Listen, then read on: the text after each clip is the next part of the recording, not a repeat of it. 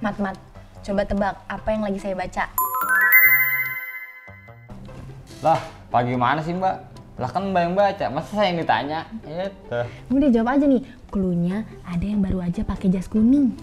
Oh, jus kuning mbak? Hmm, Siapa mbak? Ah, tebak-tebakan doang, kagak pernah ada hadiahnya.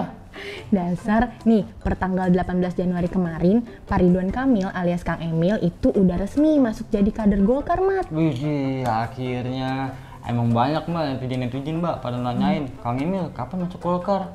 Kayak saya juga mbak ditanyain mulu mbak, kapan nikah? Kapan nikah? Eh, dah. Ih, curhat. Nah ini juga nih keponya netizen udah kejawab soal kenapa Kang Emil pilih Golkar. Yang pertama, Partai Golkar itu sangat kuat sebagai simbol partai tengah, partai yang Pancasilais, eh, partai yang terbuka. Yang kedua juga sejarah panjang Golkar menunjukkan eh, institusi ini sangat terhormat sehingga eh, besar kecilnya maju mundurnya memang oleh individu-individunya. Golkar saya baca sejarahnya dan konsisten sampai hari ini selalu fokus membangun ya membangun kekaryaan progresif nah itu mah saya banget kira-kira gitu ya saya orangnya nggak bisa diem. Inginnya membangun membereskan yang semerawut meluruskan yang bengkok dengan ikhtiar-ikhtiar dan saya lihat eh, sejarahnya membuktikan itu.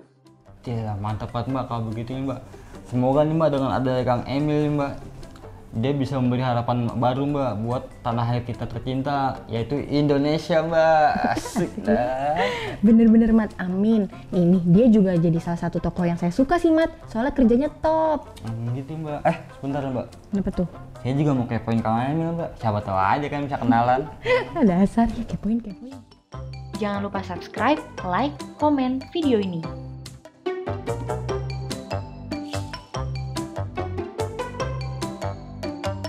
Golkar nomor 4